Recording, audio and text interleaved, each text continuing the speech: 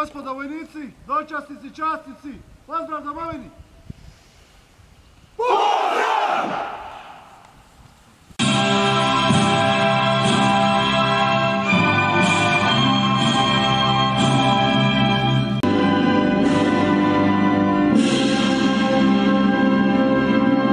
Uzvanici i gosti, dobrodošli na vojni poligon Gašinci u prigodi svečanosti uručenja prvoga ugovora o vojničkoj službi polaznicima specijalističke vojne obuke.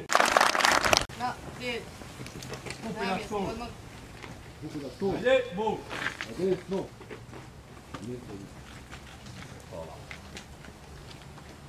Hvala!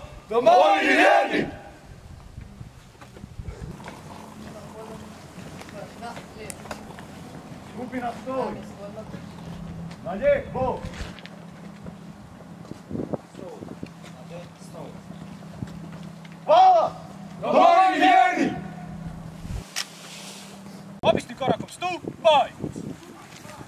Možete s nama ako hoćete ruku. ruku.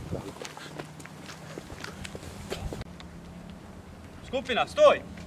Na lijevo!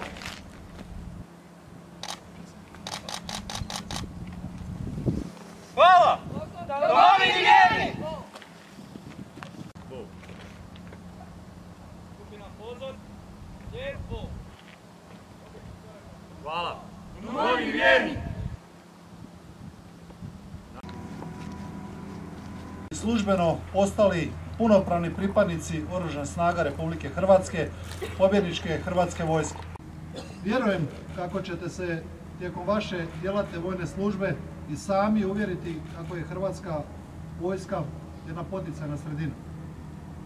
Ministarstvo obrane i Oružane snage pružaju vam mogućnosti stalnog usavršavanja, izgradnje i sebe i kao vojnika, ali kao časne i osobe. Hvala lijepo.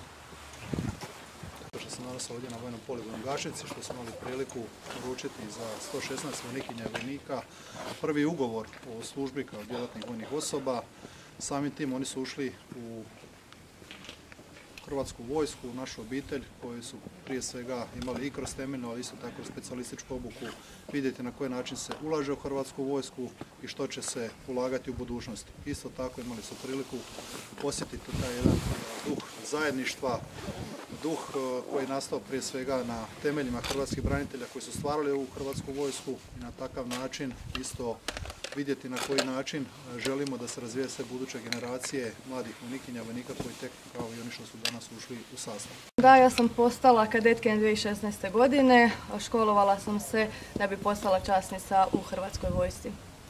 Pa, moj otac je bio u Domovinskom ratu e, i htjela sam na neki način pomoći svom narodu, znači odabrati taj put gdje mogu doprinijeti položaju svog naroda i položaju svoje domovine.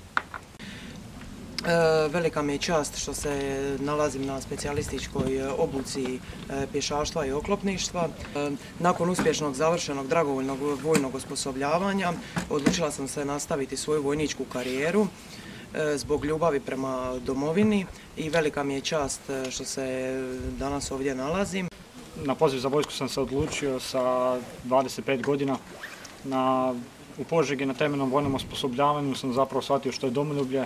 Moja motivacija je zapravo bila razne vojne osobe koje sam upoznao tijekom civilnog života i od e, roditelja i drugih branitelja koji su mi dan danas uzor, pogotovo instruktori koji su mi pokazali što znači biti vojnik, što znači živjeti ži- vojnički život.